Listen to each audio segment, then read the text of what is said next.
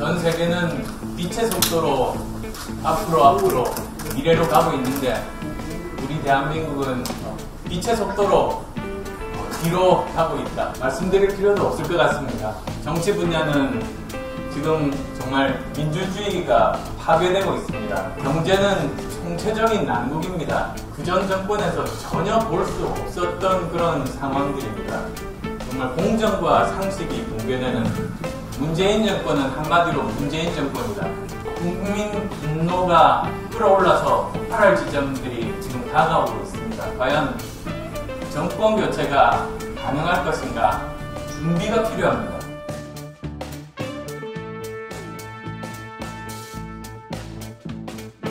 사실 제가 이 포럼을 기획을 하면서 안철수 대표를 꼭 모시고 싶어서 시작 때부터 아실 겁니다. 제가 6월 달부터 선거철을 몇 번이나 드렸습니다. 근데 10월 달에 돼서 모실 수 있게 돼서 참 다행이고 감사하고 그런 생각을 드립니다.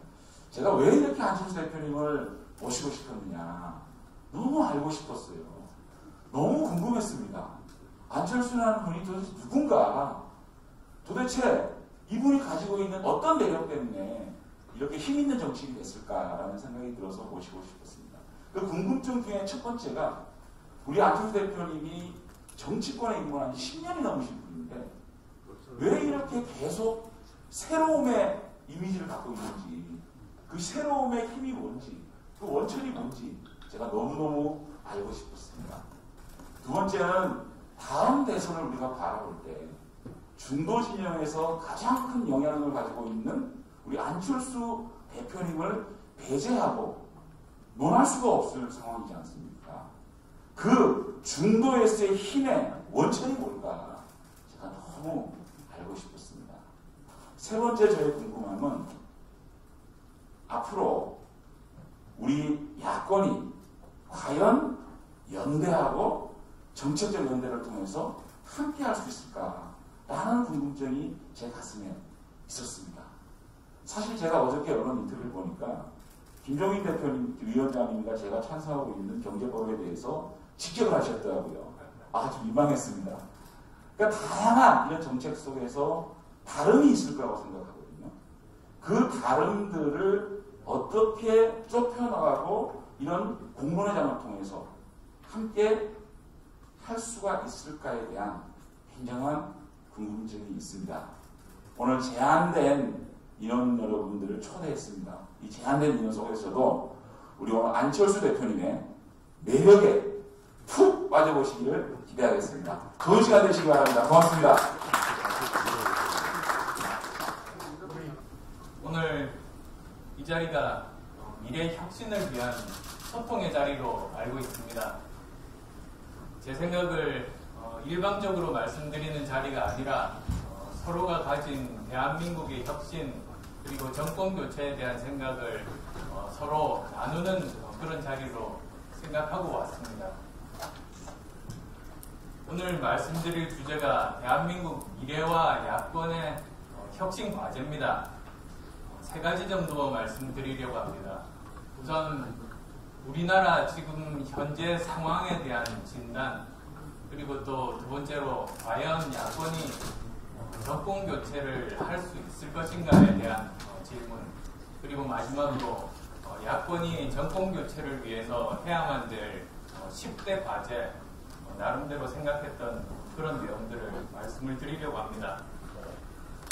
우선 일반 시민들께서도 지금 인터넷 생중계를 보고 계시다고 알고 있습니다. 그래서 어, 여기 계신 의원님들이 다 알고 어, 설명이 필요 없는 부분도 어, 사실은 가능한 쉽게 설명드리는 자리를 가지려고 합니다.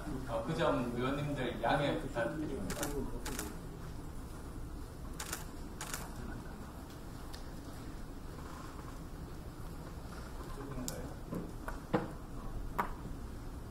첫 번째로 말씀드릴 내용이 어, 대한민국의 상황 진단입니다. 지금 대한민국 어, 저는 한마디로 전 세계는 빛의 속도로 앞으로 앞으로 미래로 가고 있는데 우리 대한민국은 빛의 속도로 어, 뒤로 가고 있다. 그렇게 말씀. 말씀드릴 수가 있겠습니다. 그 총, 총선 이후에 여당에서 처음 첫 일성이 뭔지 기억하실 겁니다. 칼기 흑화 사건 재조사하자. 그리고 또 그 국민묘지에 친일파 어, 파, 파묘하자 이런 말들이었습니다. 다시 또 과거만 이야기를 하는 겁니다. 어, 이런 말씀 아실 겁니다. 어떤 사람이 한 가지 이야기만 계속 합니다. 그러면 그건 그 이야기가 중요해서가 아니고 아는 게 그것밖에 없어서입니다. 아는 게 과거 파는 것밖에는 없는 겁니다. 그러다 보니 우리 대한민국이 과거로 과거로 뭐 머물러 있는 것도 아니고 과거로 빛의 속도로 그냥 후퇴하는 어, 그런 상황이 된 것이 아닌가 싶습니다. 분야별로 그래서 더 구체적으로 한번 짚어보겠습니다. 우선 뭐 말씀드릴 필요도 없을 것 같습니다. 정치 분야는 지금 정말 민주주의가 파괴되고 있습니다. 사실 민주주의에서 가장 중요한 게 생각이 다른 사람들과 함께 살아가는 지혜 아니겠습니까? 그래서 다양성을 인정하고 그리고 대화와 타협을 하고 합의를 하고 그리고 소수 의견도 존중하는 게 어, 진정한 자유민주주의 아니겠습니까? 그런데 거기와는 전혀 다른 그런 일들이 어, 벌어지고 있는 겁니다. 일방적으로 밀어붙이기, 대통령이 협치 이야기하면 그 다음날 바로 국회에서는 밀어붙이기, 어, 이런 일들이 벌어지고 있습니다. 그리고 또 민주주의 제도에서 가장 중요한 것이 한 사람 한 사람 개인의 선의에 기대는 것이 아니고 제도적으로 서로 상호 보완되고 상호 견제되는 어, 그런 제도화가 정말로 중요한 것인데 어, 그런 것도 전혀 이루어지지가 않고 있습니다. 기본인 삼권 분립도 무력화되고 그리고 입법부, 사법부 모두 다 청와대 아래에 있는 것처럼 그렇게 여기고 있고 또 검찰이라든지 또 감사원이라든지 어, 전부 무력화되고 있습니다. 그러니까 한마디로 전체주의 정부가 되고 있는 겁니다. 둘째로 경제는 총체적인 난국입니다. 사실 경제가 지금 어렵기는 합니다만 코로나19 때문에 어려운 것이 아니지 않습니까? 이 정부 처음부터 어, 밀어붙이고 있 었던 소득 주도 성장, 뭐저 탈원전 정책 포함해서 너무나 세상을 단순하게 보고 이렇게 생각한 것 같습니다. 월급만 많이 주면 경제가 살아날 텐데 왜 안 했을까? 다주택자들 세금 폭탄 때리면 집값이 떨어질 텐데 왜 지금까지 안 했을까? 이렇게 세상을 너무나 단순하게 보는 겁니다. 사실은 경제 시스템이라는 게 컴플렉스 시스템 아닙니까? 복잡게여서 서로가 서로 얼마나 영향을 많이 미칩니까? 심지어 교육 정책이 바뀌어도 부동산 가격이 거기에 따라 큰 영향을 받게 되는데 너무나 이, 이 사람들이 보는 이 세상은 너무나 단순한 구조인 겁니다. 그러다 보니 어, 제대로 그 정책 효과가 날 리도 없고 이미 코로나 이전에 우리는 기저질환을 앓게 됐습니다. 그러니까 기저질환을 경제에서 앓고 있는 그 와중에 코로나19까지 직격탄을 맞은 게 지금 현재 우리나라 상황인 것 같습니다. 그리고 무엇보다도 저는 문제가 국가 부채 비율이 급격하게 증가된다는 게 있습니다. 벌써 이번 정부에서 2022년이 되면 400조 원에 달하는 뭐 지금까지 우리 어, 정부 수립 이래 600조 정도의 부채인데 거의 비슷한 수준의 부채를 이 정권 5년 만에 그렇게 부채를 만들고 부채 비율도 52%, 50%를 훌쩍 넘어서 위험 수위를 이미 넘어버립니다. 그리고 뭐 비교 대상이 이렇게 뭐 유럽 국가들과 비교를 하고 있습니다만 사실 말이 안 되지 않습니까? 어, 이 정권 사람들이 기축통화국이 뭔지 그런 개념이 전혀 없는 것 같습니다. 그렇게 기축통화국 같으면 뭐 마음대로 찍어내고 그리고 뭐 미국 같이 GDP 대비 100% 부채 비율, 일본은 요즘 보니까 뭐 280%까지도 간다고 합니다만 뭐 그 정도 어, 되는 걸 보고 우리가 뭐 50% 60% 되는 게 뭐가 문제냐는 식으로 뭐 말을 하는데 어, 어, 정말 걱정스럽습니다. 얼마 전에 그 피치에서 발표를 했지 않습니까? 이대로 부채 비율이 높아지면 어, 국가 신용 등급이 어, 떨어질 수밖에 없다고 경고를 했습니다. 그래서 결국은 볼 수 있는 일이 국가 신용 등급이 감등되고 그리고 또 외국에서 이자율이 높아지고 투자한 자금들을 빼가고 결국은 외환 위기까지 연결되게 되는 어, 그런 악순환 사이클에 접어들까 정말로 두렵습니다. 그리고 세 번째로는 그전 정권에서 전혀 볼 수 없었던 그런 상황들입니다. 정말 공정과 상식이 붕괴되는 사실 그냥 보통 사람들도 상식적으로 자기 자신, 아, 남들에게 요구하는 그런 그 잣대 기준들은 자기에게도 적용되는 게 너무나 당연한 어, 일반인들의 상식인데 이 정부는 그렇지가 않습니다. 오로지 이 정부의 판단 기준은 어, 이것이 옳은 일이냐 그런 일이냐 공정이냐 불공정이냐가 아니고 내 편이냐 아니냐 그 기준밖에 없는 겁니다. 그래서 만약에 우리 편이면 아무리 잘못해도 아무리 불공정해도 이건 괜찮고 상대편이면 아무리 제대로 일을 하더라도 그건 나쁘다 이렇게 판단하는 것 아닌가 싶습니다. 기억하실 겁니다. 조국 사태 때 나왔던 그런 이야기들. 대리시험이 뭐가 문제냐? 그리고 또 가짜 증명서 나도 만들었다. 도대체 어떤 사회에서 이런 이야기를 너무나도 당당하게 부끄러움 없이 할 수 있는지 우리 사회가 이렇게까지 추락을 했는지 참담한 심정이 들게 했던 게 어, 지금 현재 상황이라고 생각합니다. 네 번째로는 정말 외교 안보가 파탄이 났습니다. 한미동맹은 약화되고 그리고 일본과 관계는 최악이고 중국으로부터는 푸대접받고 북한으로부터는 모욕을 당합니다. 이 정부가 유일하게 하는 뭐 저 외교적인 행동이라고 하면 항상 북한에게 대해서는 유화적으로 아무리 모욕을 받아도 그냥 괜찮다 괜찮다 오히려 스스로 변호하고 변명하는 겁니다. 어, 정말 몰상식적이지 않습니까? 사실 북한이 대한민국 눈치를 보는 경우는 단 한 가지밖에 없는 것 같습니다. 우리가 다른 강대국들과 미국과도 관계가 좋고 일본과도 관계가 좋고 중국과도 관계가 좋을 때 북한은 대한민국에 부탁하기 위해서 손을 내밀 겁니다. 그런데 지금 미국과도 일본과도 중국과도 거의 뭐 사상 최악의 이런 관계 속에서 북한이 우리에게 부탁할 일이 있을 수가 있겠습니까? 그러다 보니까 뭐 정부가 아무리 유화적으로 뭐 좋게 좋게 넘어가려고 해도 북한은 우리에게 관심이 없는 겁니다. 결국은 이 모든 것이 이 외교를 국내 정치에 이용을 하다 보니까 결과적으로는 국익에 심각한 손실을 어, 발생시킨, 손상을 시킨 그런 결과를 초래하게 된 것 같습니다. 그리고 국론 분열도 정말로 심각합니다. 이 정부에서 이렇게 계속 반복되는 일이 정부가 잘못을 해서 이제 국민들이 공격을 하고 비난을 하면 그때 국민들 중에서 일부 소수를 악마화해서 다른 대다수 국민들과 싸우게 만드는 겁니다. 그러면서 정부에 향하던 화살이 국민들끼리 서로 향하도록 만드는 게 빈번해지고 있습니다.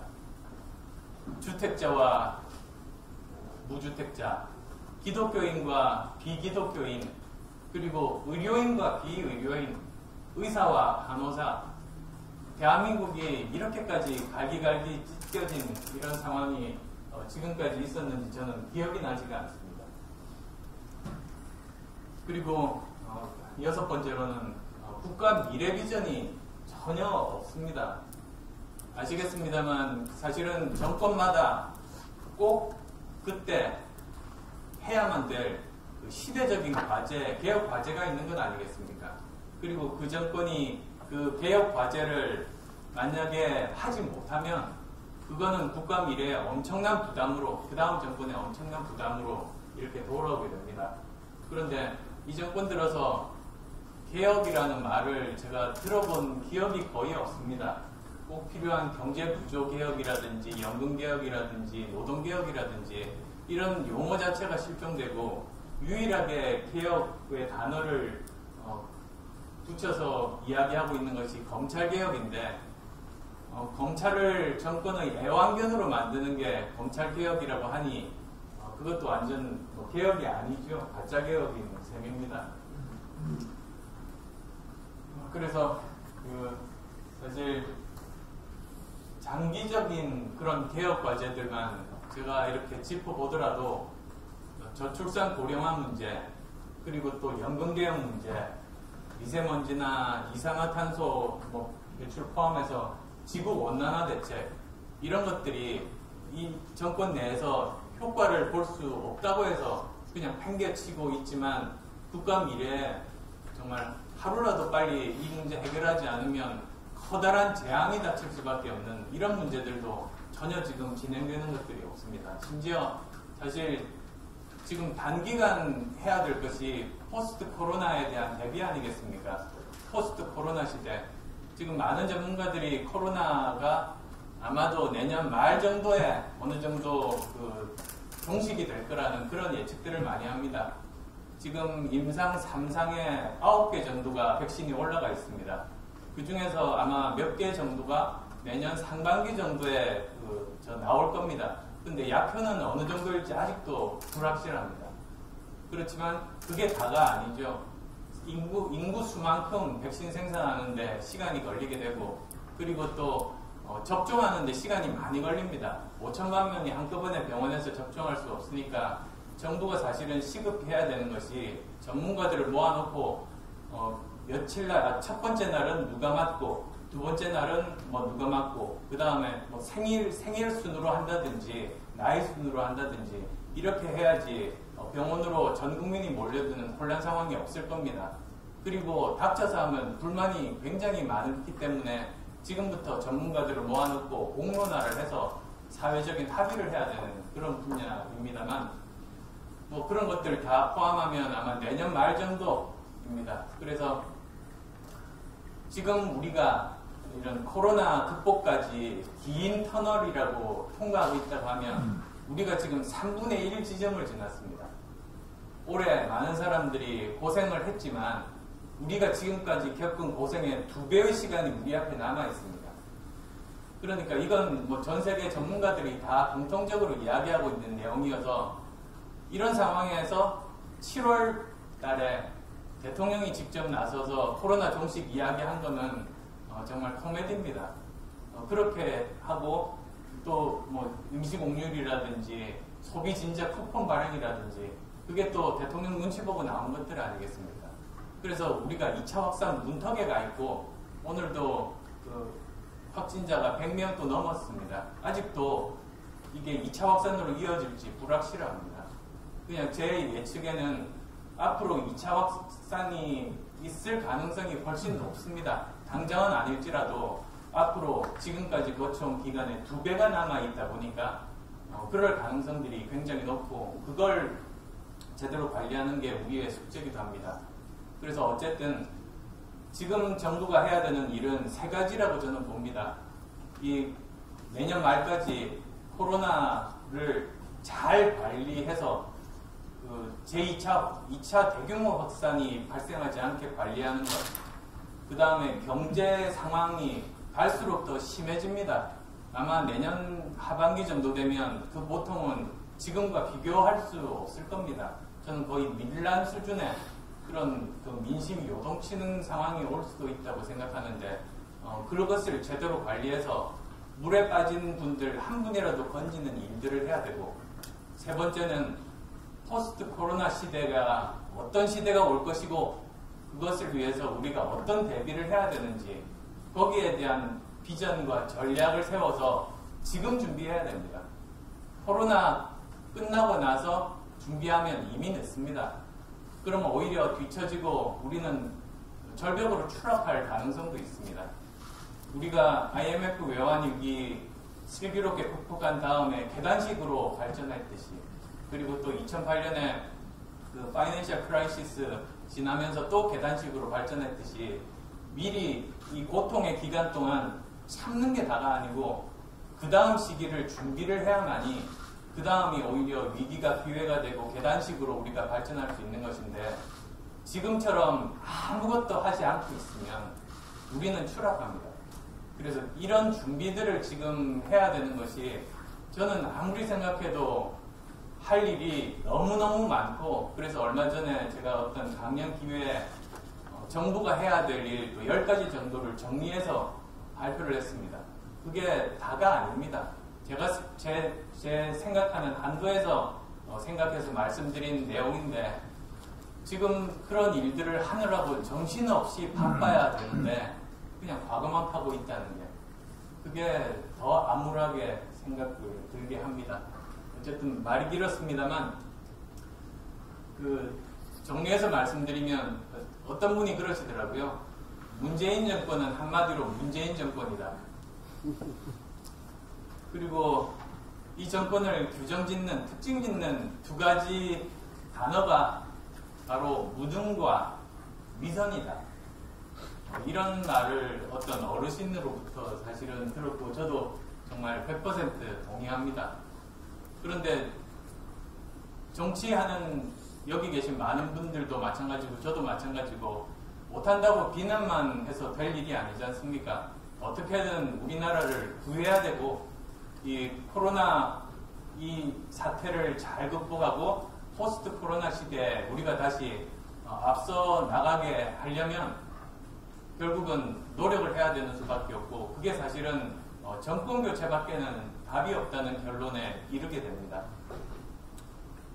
자, 그런데 그러면 이제 두 번째 말씀드릴 내용으로 넘어가겠습니다. 과연 정권 교체가 가능할 것인가? 결론부터 사실 죄송하게도 말씀드리면 그 어제 여러 언론에도 제가 말씀을 드린 바 있습니다만 지금 이 상태라면 정권 교체는 물론이고 내년 서울시장 재보궐선거 승리도 힘들다. 어, 저는 그렇게 생각합니다. 어, 그리고 제가 그렇게 어, 떻게 보면 신뢰될 수 있는 말씀을 드리는 이유가 현실을 냉정하게 봐야 되지 않습니까? 현실을 냉정하게 분석하고 어떤 점들이 모자라고 어떤 점들을 보완해야 되는지를 분석해서 이기는 게 가장 중요하지 않습니까? 그래서도 어, 지금 상황을 한번 냉정하게 분석해 볼 필요가 있겠다. 그런 생각들이 들었습니다. 지금 현재 집권 세력은 정말로 강구합니다. 지금까지 이 정도로 강한 힘을 가진 집권 세력이 있었는지 모르겠습니다.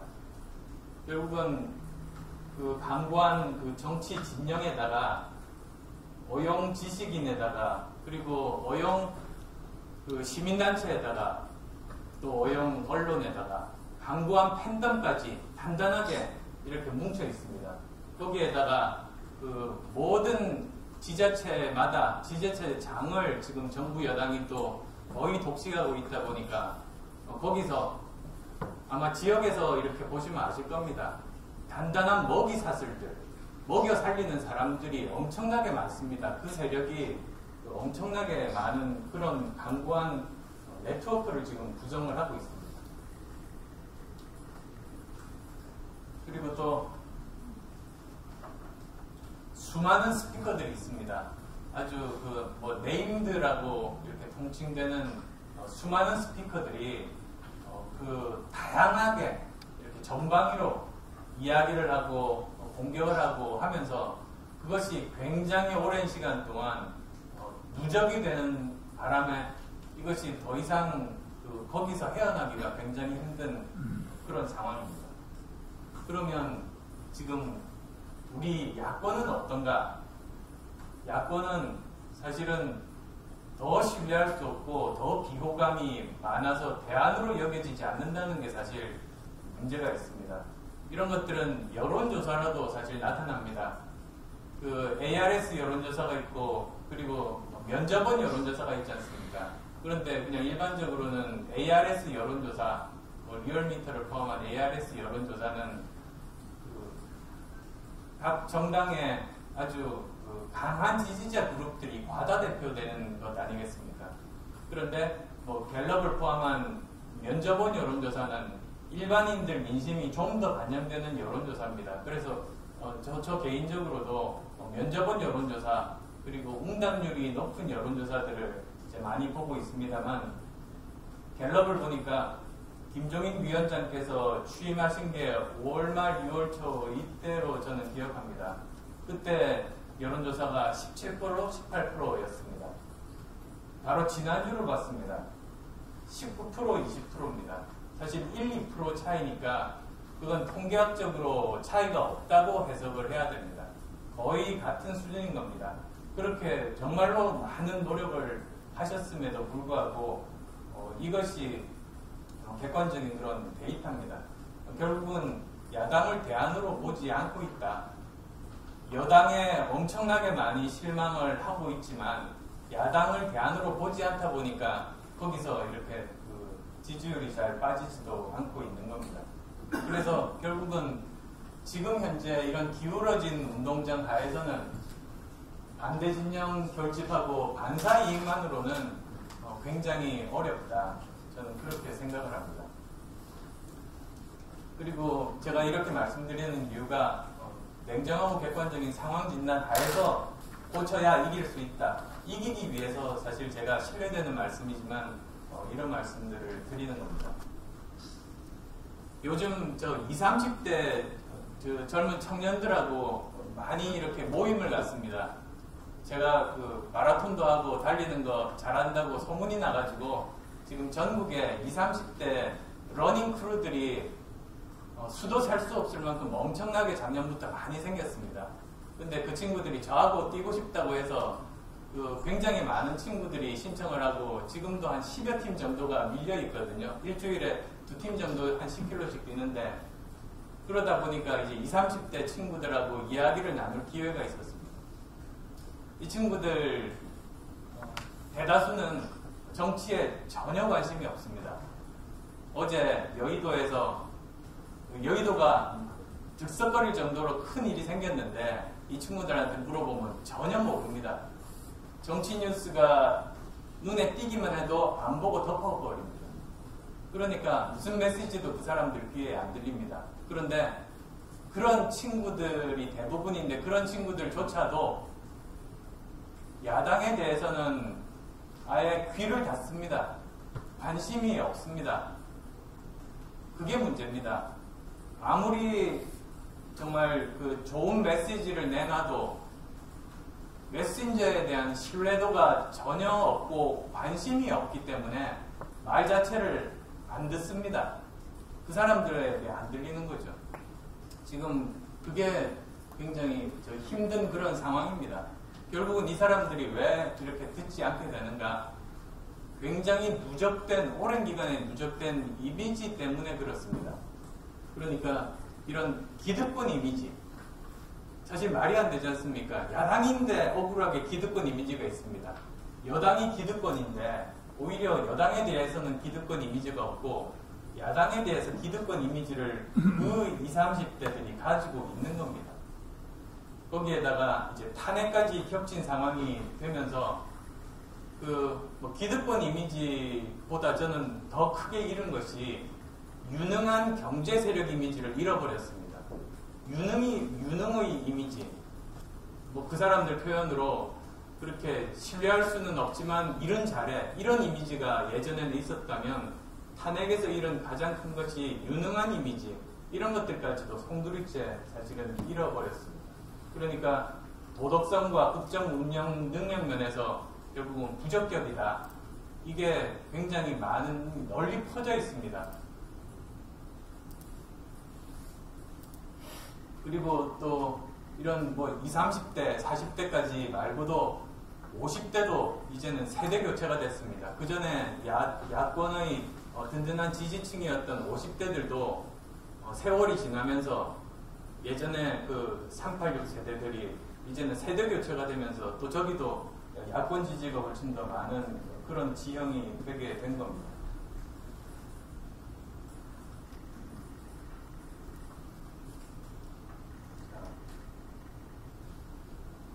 그리고 굉장히 그 진실과 인식이 다르다고 생각할 수 있지 않습니까? 그런데 뭐 여기 계신 의원님들이 더 잘 아시겠습니다만 아무리 진실과 인식이 다르다고 해도 결국은 인식이 진실이 되는 시대에 우리가 살고 있는 것 아니겠습니까? 그래서 어, 아무리 진실과 다르더라도 어, 잘못 인식된 것을 바꾸려는 그런 노력 없이는 정말 백약이 무효다라고 생각을 합니다.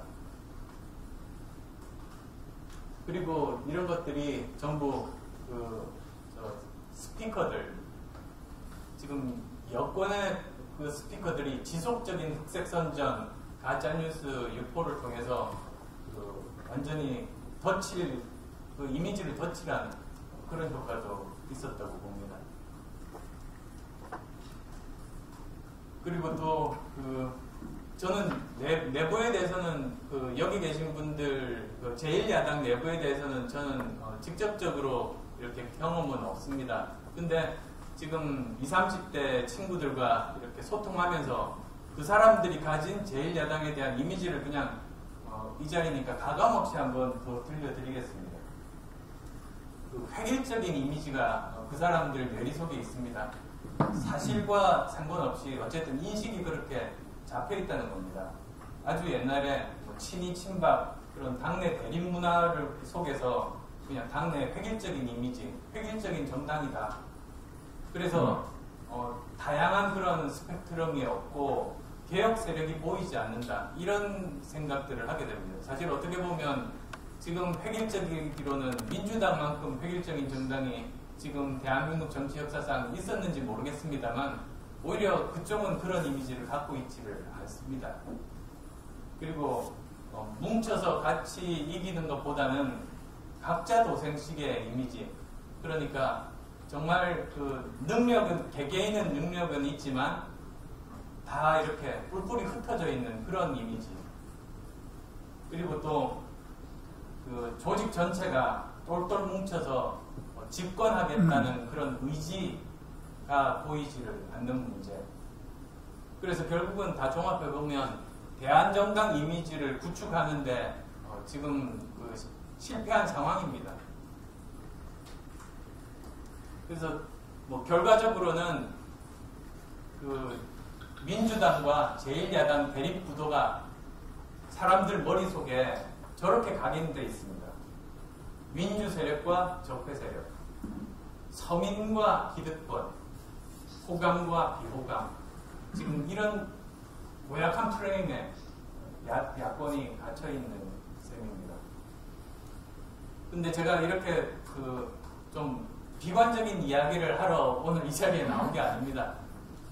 이런 상황임에도 불구하고 저는 지금 야권에 정말 절호의 시간이 다가오고 있다. 제가 그 말씀 드리러 이렇게 왔습니다. 우리가 어렵지만 변화의 노력을 한다면 지금이 야권의 절호의 찬스가 될 수 있다.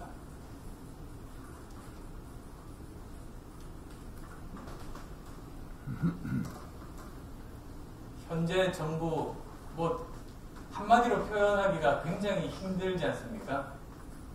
이런 독선 처음 보는 그러니까 정말 처음 경험하는 나라에 살고 있습니다. 독선, 위선, 무능, 그리고 국민 분열 이런 것들이 지금 계속 쌓이고 있습니다. 매일 쌓이고 있고 바로 다음 주에 또 어떤 일이 벌어질지 상상할 수 없는 지금 그런 상황이어서 아마도 국민 분노가 끌어올라서 폭발할 지점들이 지금 다가오고 있습니다. 그런데 여기서 제가 드리고 싶은 말씀이 국민 분노가 폭발하는 비등점이 오더라도 야권이 준비가 되어 있지 않으면 이건 기회가 될 수 없다는 겁니다. 어, 저 영국입니까? 거기에서 속담에 이런 말이 있었던 것 같습니다.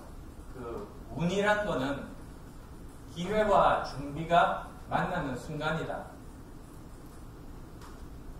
사람이 할 수 있는 건 열심히 노력하고 이렇게 준비를 하는 것밖에는 없고 기회는 하늘이 주시는데 그 기회는 준비된 사람만이 기회이지 준비가 안 된 상태에서 그냥 참기만 하다가 기회가 오면 그 기회는 우리 것이 아닌 거죠. 그래서 이런 준비와 기회가 만나면 사람들은 속도 모르고 운이 좋다고 부른다. 이런 뜻인 것 같습니다. 운이란 기회와 준비가 만나는 순간입니다. 저는 야권도 같다고 생각합니다. 이러한 국민적인 비중점 기회가 오고 있습니다만 준비가 필요합니다. 그러니까 스스로 혁신 노력들을 하고 그래서 두 가지입니다. 부정적인 이미지 지금 제가 말씀드렸던 어, 진실과는 상관없이 그런 이미지 부정적인 이미지들을 청산하려는 그런 노력들 그 다음에 또 그것뿐이 아닙니다. 우리는 무엇을 하겠다는 그런 미래지향적인 가치지향 이 두 가지를 통해서 준비를 해야만이 이런 국민 분노 비등점과 만나는 순간 정권 교체가 가능하게 된다고 생각합니다. 그래서 이제 세 번째로 야권 혁신에 대해서입니다. 어떻게 하면 우리가 이런 부정적인 이미지도 씻고 그리고 또 미래에 대한 비전도 제시하면서 대안 세력으로 국민들에게 마음속에 자리 잡을 것인지 그래서 그 힘으로 정권 교체를 할 것인지에 대해서 말씀을 드리고자 합니다. 우선 총론적으로 말씀을 드리면 어, 저는 예전부터 한국 정치에 그 양대 개혁 과제가 있다고 생각했습니다. 이 양대 개혁 과제라는 게 정치권 입장에서 바라본 것이 아니라 일반 국민들 입장에서 바라본 어, 그런 내용들입니다. 국민들이 왜 한국 정치에 실망하는가 여러 사람들한테 물어보면 공통적으로 저 두 가지를 이야기합니다. 첫째는 그 부정부패 내지는 사익 추구 정치에 대한 실망을 이야기를 합니다. 그 다음 또 두 번째로는 진영 정치에 대한 패거리 정치에 대한 이야기들을 합니다. 뭐 부정부패나 뭐 사익 추구에 대해서는 설명이 필요 없겠습니다만 진영 정치가 아까 드린 말씀 그대로 판단 기준이 우리 편이냐 아니냐 그것만 가지고 판단하는 게 진영 정치 아니겠습니까? 그러다 보니까 어, 다른 사람들에게는 공정의 잣대를 엄격하게 들이대면서 자기 편에는 엄격하게 들이대기는커녕 오히려 잘못한 게 뭐 있냐 이러면서 국민들에게 혐오감을 불러일으키고 그렇게 싸우다 보니까 정작 민생 문제 해결은 전혀 도외시하는 그런 정치들 이 두 가지가 국민들이 정말 실망을 하는 부분들인데 이 두 가지가 사실 이런 과제들을 야권에서 선점을 한다면 지금 보면 뭐 여권은 이 두 가지 점에서는 전혀 고칠 생각도 없지 않습니까? 결국은 야권이 이 두 가지 개혁 과제를 선점하는 것이 우리가 나아가서 정권 교체까지도 가능한 그런 부분들이 아닌가 생각합니다. 뭐 한마디로 말씀드리면 그 제1야당은 한 진영의 자산 또는 뭐더 그 말씀드리면 보수의 자산이 되려고 노력하시면 안 된다고 생각합니다. 대한민국 전체의 자산이 되기 위해서 노력을 하는 것이 저는 옳은 방향이라고 생각합니다. 지금 이미 정부 여당은 자기 진영의 자산으로서 역할만 관심 있고 그것만 하지 않습니까? 그런데 야권도 우리 진영의 자산이 되기 위해서 노력을 하다 보면 1대1 싸움을 하면 100점 100패입니다. 도저히 이길 수가 없습니다. 이럴 때 취해야 될 태도는 우리는 대한민국의 자산이 되겠다. 대한민국이 올바로 가는 일을 위해서는 우리는 어떤 일도 하겠다. 어떤 개혁도 하겠다. 그게 전달되면 저는 정권 교체가 정말 가능하다고 생각합니다.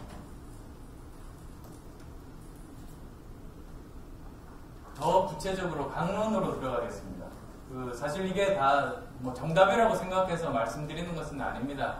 어 제가 생각할 때 제, 제가 이렇게 여러 가지 고민하면서 최선을 다해서 생각해 보니까 어 10가지 정도 우선적으로 해야 될 그런 개혁 과제가 떠올랐습니다. 아마 여기 계신 분들은 또 제가 말씀드린 내용보다 어, 더 중요하고 큰 그런 개혁 과제들이 어, 다들 생각이 있으실 거라고 생각합니다.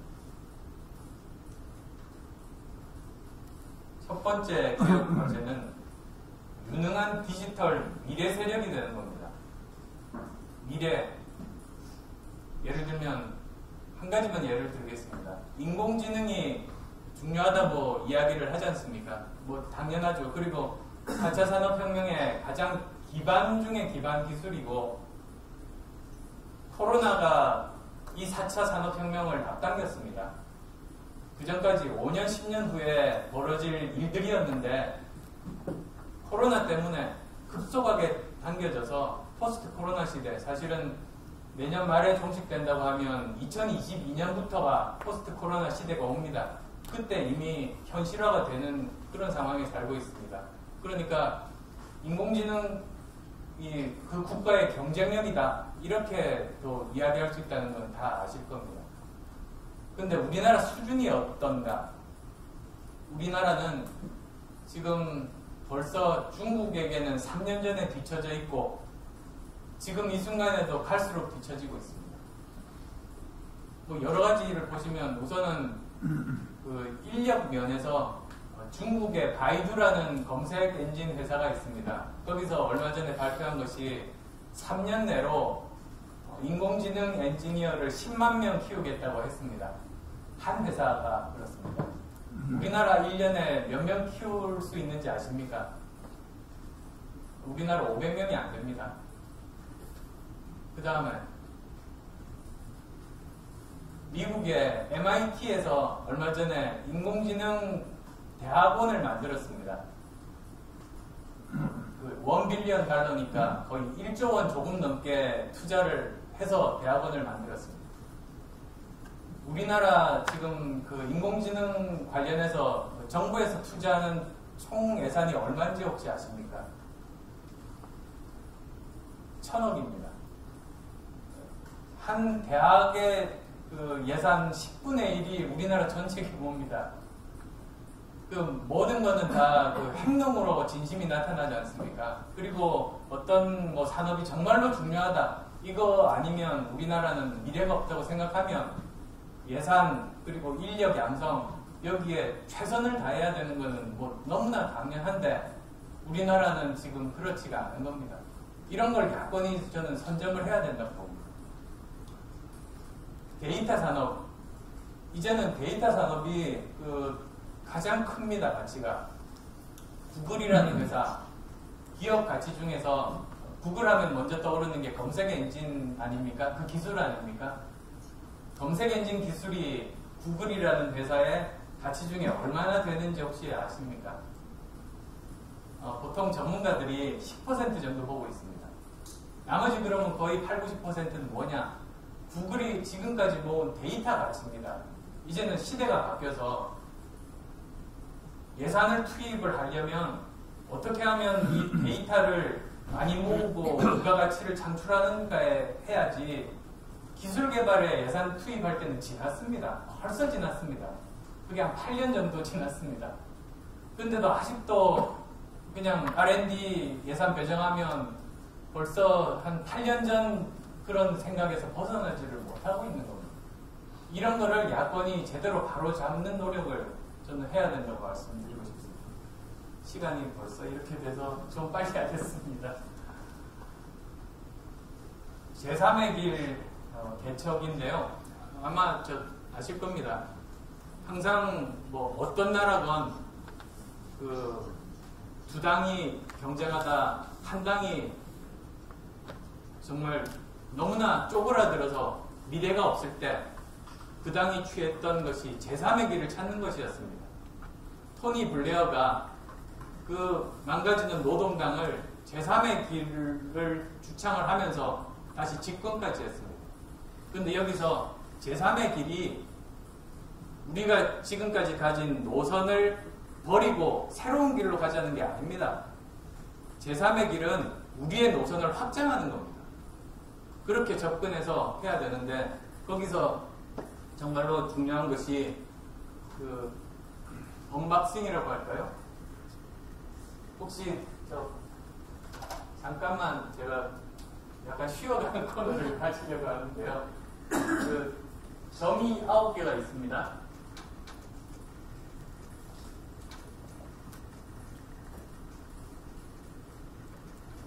이 점들을 그 아마 어릴 때 해보셨을 겁니다.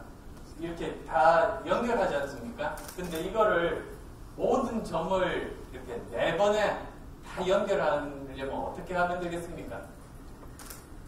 네 번에 다섯 번은 누구나 할 수 있는데요. 네 번에 이 선들을 다 이렇게 연결하려면 혹시 의원님들 중에 답 아시는 분은 여기 와서 예? 예, 한번 해보시겠어요? 그 아마 아시는데 지금 이게 자, 한 번,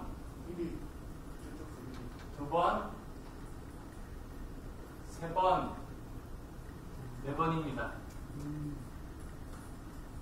그냥 보면 금방 아시지 않습니까? 근데 제가 굳이 뭐 시간도 좀 부족한데 이걸 보여드리는 이유가 보통 이렇게 점 아홉 개를 선으로 연결하려고 하면 여기 박스가 없는데도 이 선 안에만 막 생각하는 겁니다.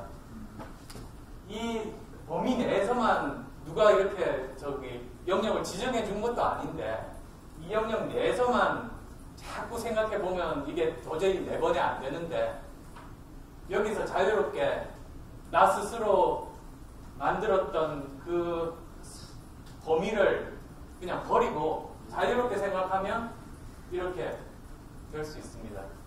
사실은 이게 그, 어, 나 스스로 나에 대해서 가지고 있던 사고 범위를 벗어나야 거기서 새로운 것들이 만들어진다. 그런 저는 예라고 생각하고 이렇게 말씀을 드린 건데요. 아, 그래서 정말 고정관념 탈피가 그 저는 중요하다고 생각합니다. 그래서 고정관념 탈피를 해야지 그 정말 혁신이 가능하고 그리고 거짓과 선전선동에 능한 그런 저 지금 현재 정부 여당을 이기는 길이라고 저는 생각합니다. 그리고 세 번째로는 인기 영합주의와 단호하게 싸우는 겁니다. 그 저는 정부 재정이 정말로 걱정스럽습니다. 지금 이 상태로 벌써 뭐 저 이번 정부 정권 끝나면 50%라면 벌써 경고음입니다. 어떤 분들이 한테 제가 들었습니다만 사실은 그 지난 IMF 때 그 재정 확장 정책을 써서 살리면서 그 정부 재정 20% 부채 비율은 순식간에 이렇게 어, 증가할 수 있다는 걸 알고 60%를 경고선으로 두면 20% 버퍼는 있어야 어떤 순간에도 국가가 안전할 수 있다. 그래서 40% 정도로 어, 기준을 잡았다고 들었습니다. 근데 이 정부는 그거 무시하고 벌써 50% 넘지 않습니까? 그 벌써 경고음이 울린 겁니다. 그래서 야권은 어, 책임 있는 정치 세력, 그리고 여권은 무책임한 정치 세력, 이런 프레임을 만들고 실제로 그렇게 행동에 옮기고 그렇게 어, 정말 사명감을 가지고 일을 해야 된다고 그렇게 생각합니다. 그래서 대한민국의 지속 가능성 그리고 우리 아들, 딸 그런 미래 세대를 위한 책임 있는 정치 세력이 되겠다. 그것이 지금 뭐 여당에서는 할 생각도 없고 할 수도 없는 그런 그 접근 방식이 아닌가 생각합니다. 그리고 또 야권은 집권 자체가 목표가 아니고 집권한 이후에 성공한 정부를 만드는 것이 목표다. 저는 그런 태도가 우리가 취해야 될 태도라고 봅니다. 집권만 할 수 있으면 무슨 짓이든 하는 이런 그 인기 영합주의에 그냥 빠진 그런 태도가 아니라 우리는 우리의 목표 지점은 선거가 끝나면 끝이 아니고 선거가 끝난 것이 우리의 시작이다. 그걸 국민들께 설득하고 그렇게 행동하는 것이 저는 지금 정부 여당과 싸워서 국민들의 마음을 얻을 수 있는 길이라고 봅니다. 그리고 네 번째로는 국민과 정말 공감 능력도 제가 20, 30대로부터 이야기 많이 들었습니다. 저 야권이 공감 능력이 떨어진다. 가끔 이야기를 하는 걸 보면 정말 우리가 어떻게 생각하는지 모르는 것 같다. 그런 말들을 정말 많이 들었습니다. 그래서 정말 공감 능력, 이해 능력, 이 영어로 understand 아닙니까? 사실 근데 저도 저 단어를 좋아하는 것이 understand가 under, 아래에 stand, 서답니다. 결국은 사람들의 위가 아니고 사람들의 아래에서 그 사람을 보고 진심을 이해하려는 노력이 저 understand라는 단어가 가진 좋은 뜻 아닌가 싶습니다. 그래서 국민들을 내려다보는 것이 아니라 국민들 밑에 서서 어, 그 사람들을 제대로 이해하고 공감하려고 하는 것. 그게 또 야당에 꼭 필요한 그런 야권 혁신의 중요한 한 부분이라고 봅니다. 그리고 아마 지금 이번 개천절 집회에 대해서 또 여러 가지 다양한 생각들이 있으실 겁니다. 근데 뭐 제가 그 가진 생각이 사실 거기에 나오시는 분들은 답답해서 나오시는 것 아니겠습니까? 그리고 결국은 목표가 두 가지일 겁니다. 지금 정부에 대고 요구를 해서 그 요구를 관철시키는 게 최선이고 그렇지 않더라도 대다수 국민들로부터 동의를 이끌어내는 게 그 집회하려고 하시는 분들 목적 아니시겠습니까? 근데 사실은 오히려 반대가 지금 벌어지고 있습니다. 특히 지금 코로나 시국이다 보니 어, 코로나 확산의 주범으로 몰릴 수도 있고 어, 결국은 결과적으로는 현지권 세력을 엉뚱하게 도와주는 결과를 그렇게 나오면 그것이야말로 뭐 그분들도 바라는 것이 아니지 않습니까? 사실 그 우리끼리만 만족하는 집회나 유튜브가 무슨 소용이 있겠습니까? 정권 교체 가 되어야지만 그 가능한 것이라고 보는데요. 화낸다고 뭐 목소리를 높인다고 여론이 야당 편이 되는 게 아닙니다. 사실 대중을 설득해서 내 편으로 끌어오는 게 그게 잘 싸우는 거 아닙니까? 목소리를 높여서 싸우는 게 잘 싸우는 것이 아니라 대중을 설득해서 내 편으로 끌고 오는 게 잘 싸우는 것이다. 저는 그 집회 이번에 기획하고 하시는 분들이 그 그런 생각을 한번 해보시면 좋겠다고 생각합니다. 그리고 또 그 지난 지난 지방선거 때두 분에서 그 트럼프 김정은 회담을 보시면서 아마 민심의 흐름도 보셨을 겁니다. 그 지금 현재 정부 여당의 정말 막연한 민족적 감성에 의한 대북 유화책은 정말 문제지만 또 야당 입장에서 대북 강경론만 고집하는 것도 이제는 그 갈, 갈 길이 저는 아니라고 봅니다.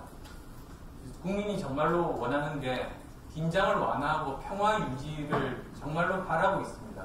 그리고 또 실제로 이런 것들을 이끌어내기 위해서도 우리가 강력하게 군사적인 대응 태세를 갖춰서 감히 약보지 못하게 만들면서도 동시에 그 대화를 하면서 계속 이렇게 양지로 끌어내려는 노력 그 두 가지가 병행될 때만 우리 우리가 바라고 국민들이 바라는 그런 긴장이 완화되고 평화가 유지되는 그런 상황이 오지 않을까 싶습니다. 그리고 국민 통합입니다. 국민 통합은 뭐 더 설명드릴 어, 필요도 없을 것 같습니다. 열린 자세로 영원한 화합, 그리고 국민 통합, 그리고 산업화와 민주화의 통합 방안, 이런 것들을 선제적으로 찾는 것도 야당에서는 몫이라고 생각합니다. 저 문제는 나중에 9번 정도에 다시 또 추가로 설명드리겠습니다. 그리고 이제 그 당 혁신 방안은 결국은 세 가지 아니겠습니까?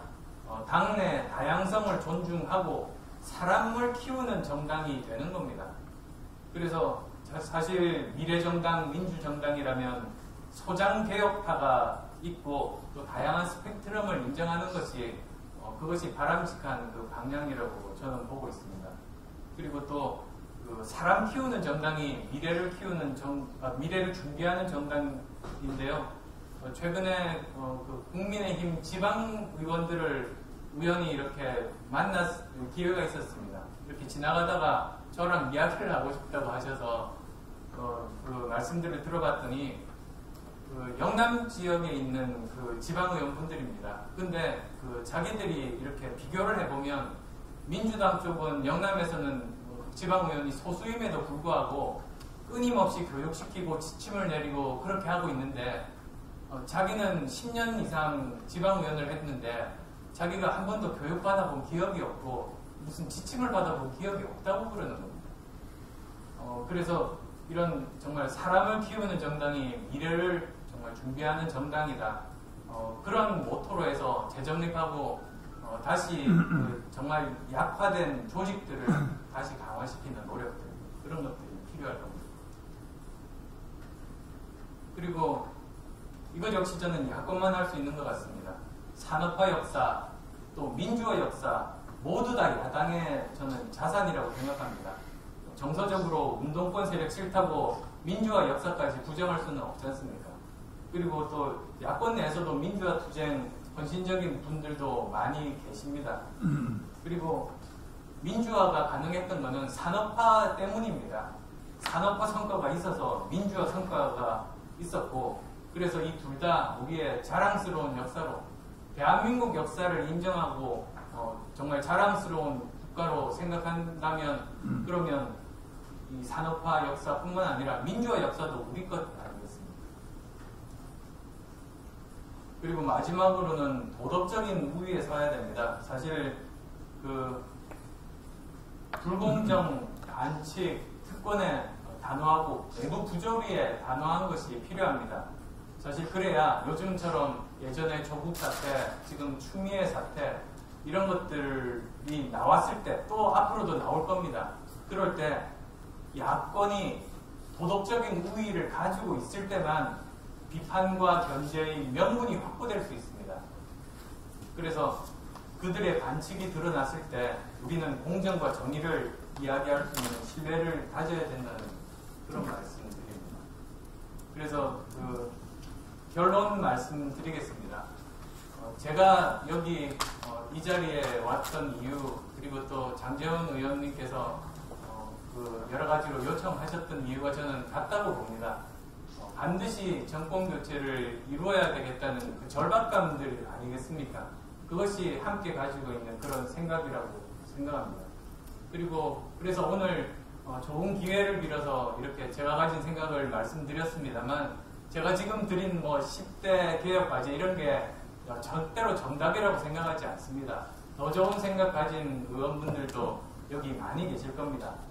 그래서 저는 오늘 이 자리가 이렇게 열 가지를 하자고 제가 강요하거나 주장하는 자리가 아니라 이 정권 교체라는 큰 목표를 위해서 우리가 무엇을 어떻게 할지 그것을 고민을 시작하는 시작점 저는 그것만 되면 제가 더 바랄 것이 없겠습니다.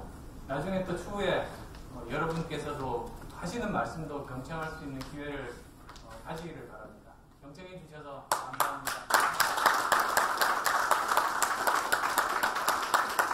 네, 오늘 제가 공정한 시기에 대한민국의 미래를 설계하기 위한 정책 과제와 야권의 혁신 과제에 대해서 열정적인 강연 감사드립니다. 다시 한번 큰 박수 부탁드립니다.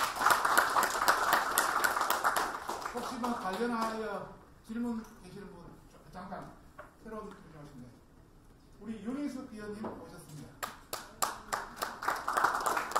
김경배 위원님 오셨 다녀가셨습니다.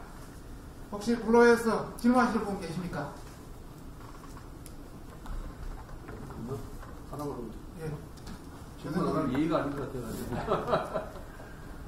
예, 오늘 안철수 대표님 강연 아주 어, 공감 가는 내용이 많아서 예, 아주 잘 들었습니다.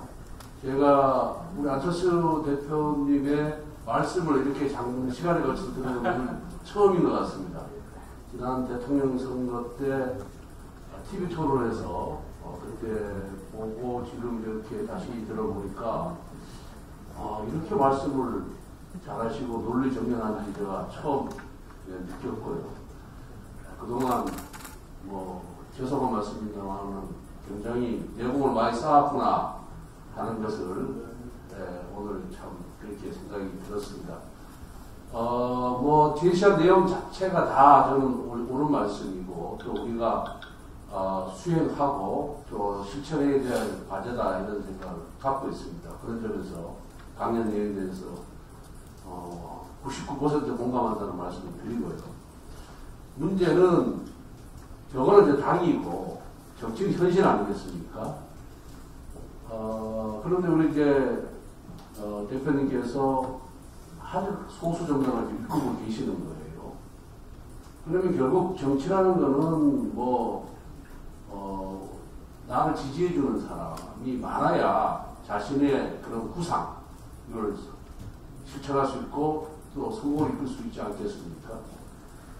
어, 그래서 지금 야권의 상황이 우리 소위 말 보수나 중도 이렇게 나눠져 있는데 이게 지금 합해도 지금 적응 교체를 할 수 있을지 또 내년 서울시장 선거를 우리가 어, 승리할 수 있을지 이게 전국문이 된단 말입니다. 그래서 이제는 우리 대표님께서 그 국민의당의 대표로서 국민의당을 제1당으로 만들 그런 의지와 능력과 그런 자신감이 있으면은 그 당에서 계속 계시는 것도 좋다고 생각합니다만은 어, 현실적으로 그게 나는 만만치가 않다 이런 생각이 듭니다. 뭐 과소평가하는 건 아니, 아니, 아니 지만은 그래서 좀 더 현실적인 방법을 이제 찾아야 될 때가 아닌가 우리 안철수 대표님 본인으로도 우리 야권 전체로도 그런 생각이 드는데 거기에 대한 어떤 보관이나 어, 생각이 있으면 좀 말씀해 주시면 고맙겠습니다. 예, 질문 감사합니다. 그 야권이 어떻게 하면 정권 교체를 할 수 있을 것인가? 그게 제 가장 큰 관심사이자 목표라는 점을 말씀드렸습니다. 그러면 지금 어, 제1야당과 그리고 또 어, 국민의당과 그 어떻게 하면 이 목표를 이룰 수 있을 것인가? 저 나름대로 고민을 했습니다만 지금은 어떤 뭐 선거 준비라든지 아니면 뭐 통합, 연대 이 고민할 수준은 아직 안 된 것 같습니다. 그렇게 되면 얼마나 좋겠습니까? 그렇지만 어, 지금으로서는 어떤 방법으로 하든 하든 굉장히 어려운 상황이라고 제가 말씀드렸습니다. 그래서 지금 해야만 되는 일은 어떻게든 그 아예 관심을 끊고 귀를 닫고 있는 사람들이 다시 한번 그 관심을 돌리는 겁니다. 관심을 다시 가져야 어떤 이야기 하는지 내용을 듣고 그 내용에 따라서 어, 비호감을 버릴 수가 있지 않겠습니까? 그게 또 야권 지지층이 넓어지는 거고요. 이런 관심을 끌 수 있는 길은 저는 그 혁신 경쟁이라고 생각합니다. 한 당이 계속 우리 바뀌었다고 말을 해도 어, 상대적으로 관심을 두지 않을 겁니다. 근데 이렇게 규모는 아주 차이가 있습니다만 오히려 그런 담론의 크기는 결코 작지 않다고 저희는 생각을 하고 있고 그래서 이런 앞서거니 뒤서거니 서로 야권이 제가 드린 이런 10여 가지에 대해서 어, 진정성이 있는 그런 경쟁 관계를 보여준다면 그게 아마 처음으로 어, 마음을 돌렸던 사람들이 다시 관심을 보이게 하는 그 시작점이 될 겁니다. 한당 혼자서 열심히 하는 것보다 이렇게 두 당 또는 뭐 그 이상이 되면 더 좋긴 하겠습니다만 지금은 두 당이니까 두 당이 이렇게 경쟁하는 것이 그게 우리 이렇게 긴 흐름에서 야권으로 다시 지지층을 결집시킬 수 있는 방법이라고 생각해서 지금 그래서 열심히 하고 있는 겁니다. 그래서 저희는 저희 나름대로 뭐 얼마 전에 그 진중권 전 교수와 대담도 하고 뭐 요즘은 그 유튜브라든지 메시지들을 그 열심히 국민께 알리고 있습니다만 200만 뷰쯤 나왔습니다. 그래서 이, 이것이 그 제가 재밌게 했다는 것이 아니고 어, 야권이 변화되는 것에 대한 관심이 이 정도로 높구나를 피부로 느꼈습니다. 그래서 어, 국민의당은 그 저를 포함해서 의원들 전부가 똘똘 뭉쳐서 열심히 어, 야권에 도움이 되기 위해서 열심히 하고 있다는 점 말씀드리고 싶습니다. 또 다른 분 없으십니까? 그러면 이상으로